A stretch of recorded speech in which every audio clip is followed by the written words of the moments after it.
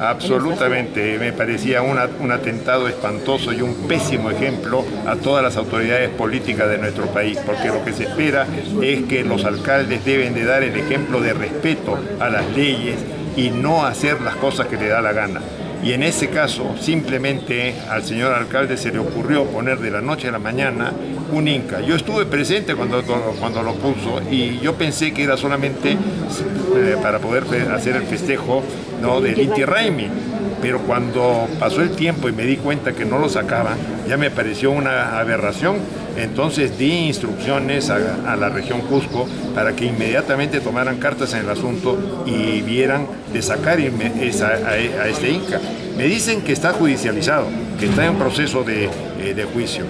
Yo creo que lo que ha debido hacer, y yo no me opongo a que exista una figura de un Inca, pero que se haga bajo la norma, bajo los estándares, que se convoque una licitación, que se convoque a un grupo de artistas y que se convoque a un jurado para que escoja un Inca que sea de acuerdo a las características de la plaza, pero no un adefesio de esa naturaleza que realmente desdice totalmente la calidad del centro fundamental de la ciudad del Cusco, que es su plaza de armas. Eso no puede hacerse. El mensaje es que las autoridades pueden hacer lo que les da la gana, según su criterio. Sí, exactamente, ese es el ejemplo que se ha dado. Es decir, al haberlo mantenido, pareciera ser que un alcalde puede hacer lo que le da la gana sin ningún respeto a la normativa y menos sin ningún respeto al medio ambiente, a las construcciones monumentales que existen.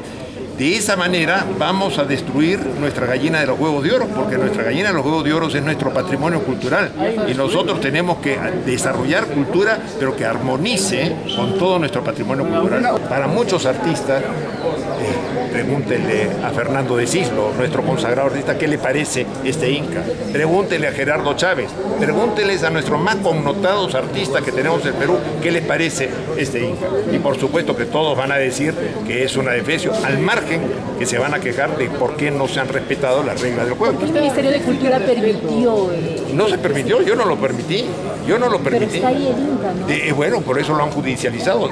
Er, eran momentos en que la región tiene, tenía autonomía para velar por la protección del patrimonio cultural. Si respeto, ¿por qué no se respeta la decisión de la UNESCO? Bueno, efectivamente se respetan las decisiones de la UNESCO. ¿Por qué no las respetan algunas autoridades? Eso está pésimo pero precisamente una de las cosas que yo me preocupé es que se respetasen las decisiones del UNESCO y por eso es que hemos salvado que nos sancionaran castigando a nuestro Machu Picchu como patrimonio cultural de la humanidad. Querían quitarle, ¿por qué? Porque nos estábamos excediendo en el número de visitantes. Hay un límite.